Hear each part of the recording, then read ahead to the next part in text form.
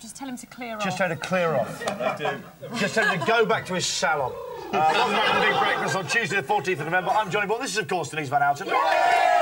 And still to come on this morning's Forgot I show. for a moment there. Uh, I get that sometimes. Do you? Yeah, You senior, wake up to one senior who am. I? Yeah, yeah, I get that. And then I On the news, down we're and I beginning our own spin to the world of current affairs in the pay-per-view, ladies and gentlemen. That's coming away this morning. Denise, what else is coming? Well, at 8.20, I'm going to be talking to the man himself, Mr Harry Enfield. But read what it says. It's got a funny line there. it? Yeah, it says he's got more characters than a Chinese Chinese typewriter. because you see, I'm, That's absolutely brilliant, isn't it? I'm trying to impress Harry because then I might be able to get on his sketch. He's got more characters already, doesn't need them. Oh, really? Because he's got more characters than a Chinese typewriter. I think that's brilliant. Listen, at 8.40, Johnny, Yes. uh, there's more Golden Gobs when we get front row seats for the puppetry of the Puppetry Time. at the time, ladies. Put them away. Put them away, Lucy. You're not legal yet. Uh, plus, we check out the latest musical offerings in the Sizzler, uh, Denise. I know you enjoy that always. Oh, and we meet the and we meet the star and director of the hugely, hugely uh, humorous film which we saw yesterday, Meet Oh, the Parents. We, we brilliant. enjoyed It's that. a really good film. It'll make you chuckle. Okay. Uh, anything else you'd like to staring at me. anything else you'd like to add at this juncture? No? Okay, let's go over to the. Uh, I think we've got Jasmine Lowson now with the Big Breakfast News and Weather. Here's Jasmine. Good morning. These are the main stories on Tuesday, the 14th of November.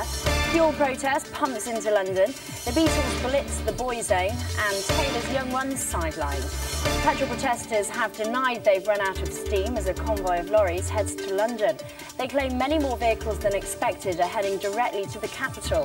So far, there's been no rerun of last month's protest, despite the passing of yesterday's deadline for the government to agree to cut fuel tax. Bereaved relatives have been arriving in Kaprun as the search continues for bodies following the weekend Alpine disaster.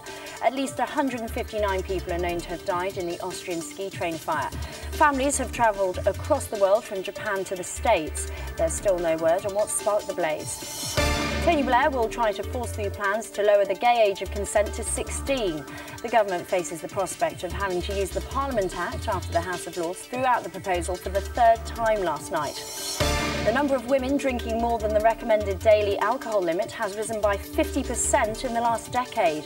Alcohol Concern found women between 18 and 24 are the heaviest drinkers, with almost half binge drinking at weekends.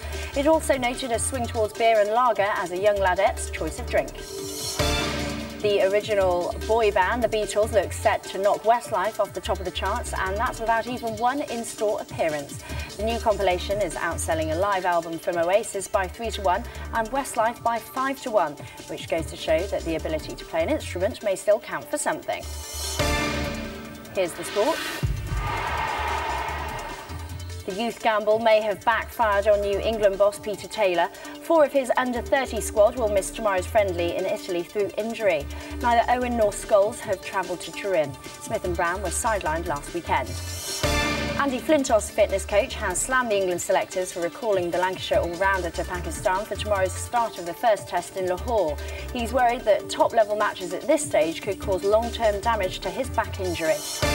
That's the Big Breakfast News. Simon's at the house with the weather.